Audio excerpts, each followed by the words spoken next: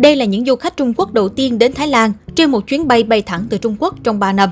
Đây là một dịp quan trọng đối với họ khi chính phủ Trung Quốc đã chấm dứt các biện pháp kiểm soát biên giới nghiêm ngặt để ngăn ngừa Covid-19, lý do khiến phần lớn người Trung Quốc không được đi du lịch nước ngoài kể từ khi đại dịch bùng phát.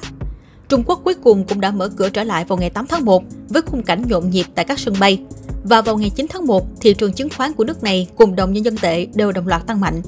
Tin vui đến khi nền kinh tế Trung Quốc đã phải đối mặt với mức tăng trưởng thấp nhất trong gần nửa thế kỷ. Một khách du lịch cho biết, chúng tôi rất vui mừng được trở lại Thái Lan, chúng tôi đã chờ đợi 3 năm rồi. Trước Covid, chúng tôi đến đây hàng năm và lần này tôi đưa gia đình đến đây.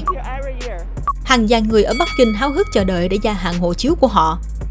Chính phủ dự kiến người dân sẽ thực hiện 2 tỷ chuyến du lịch trong mùa này, nhưng trong những ngày đầu mở cửa trở lại, mọi thứ vẫn còn khá nhỏ giọt. Dữ liệu chuyến bay cho thấy ngày 8 tháng 1 có 245 chuyến bay quốc tế đến và đi từ Trung Quốc. Để so sánh thì vào cùng kỳ năm 2019, số lượng chuyến bay lên đến 2.500. Ngoài ra, một số quốc gia vẫn còn thận trọng về cách đối phó với du khách Trung Quốc nhập cảnh.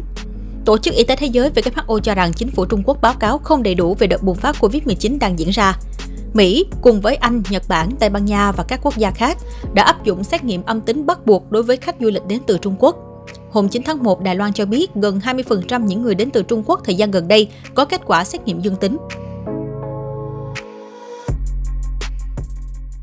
Hãy bấm đăng ký kênh Điểm Nóng Toàn cầu và nhấn nút chuông để dòng thời sự thế giới luôn sôi động trên màn hình của bạn. Điểm Nóng Toàn cầu, video mới nhất về thời sự thế giới từ báo Thanh niên –